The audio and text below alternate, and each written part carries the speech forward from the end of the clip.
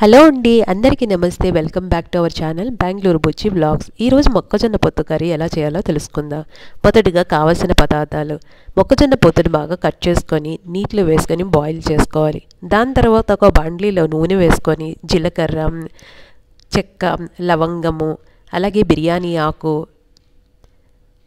ఎండిమిర్చి ఉల్లిపాయలు అన్నీ వేసుకొని బాగా ఫ్రై చేసుకొని బాయిల్ చేసి పెట్టుకున్న మొక్కజొన్న పొత్తు ముక్కలను ఆ నూనెలో వేసుకొని కాసేపు ఫ్రై చేయాలి.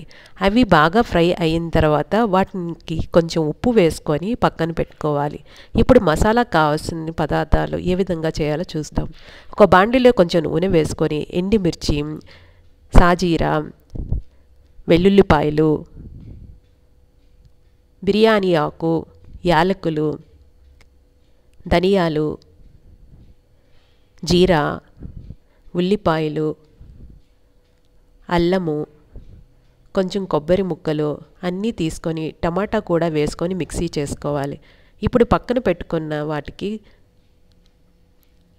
మసాలా పేస్ట్ వేసి బాగా బాయిల్ చేయాలి. అవి బాగా బాయిల్ అయిన తర్వాత చింతపండు రసం టేస్ట్కి తగ్గట్టు వేసుకోవాలి. అలాగే ఎంత నీరు కావాలో చూసుకొని అంత నీరు వేసుకోవాలి.